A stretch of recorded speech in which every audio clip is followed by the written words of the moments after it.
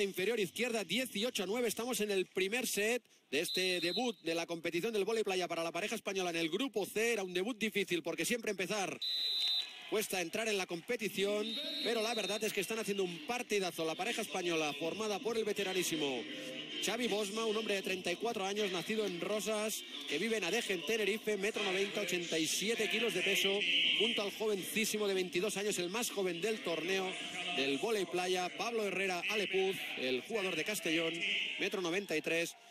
85 kilos de peso, ahí le tienen y que está haciendo un partidazo. Pablo Herrera, un montón de bloqueos, están desquiciando a la pareja austríaca. Una pareja, la austríaca, que no es la titular de Austria. Ahí ahora le ha devuelto la moneda en ese bloqueo. Seguro que van a estar en octavos de final después de esta victoria, prácticamente seguro.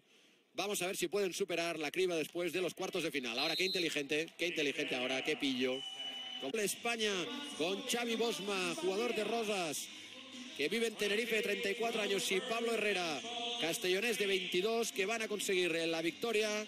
Van a ganar probablemente este segundo set, punto de partido, ahí lo tienen al servicio Pablo Herrera que ha hecho un partidazo y la verdad es que su debut olímpico no lo ha acusado en absoluto. Vamos a ver el bloqueo. Ahora no, la tocó Pablo Herrera, por lo tanto, punto para Austria. Pero fíjense la distancia que hay. 20 a 13. La cantidad de bolas de partido que tiene el equipo español, puesto que el partido es a lo mejor de 21 puntos. En el primer set 21 a 14, pues casi van a clavar el resultado. Atención al punto de partido. Xavi Bosma iba Pablo Herrera. Adentro, remate a la arena, victoria para el equipo español.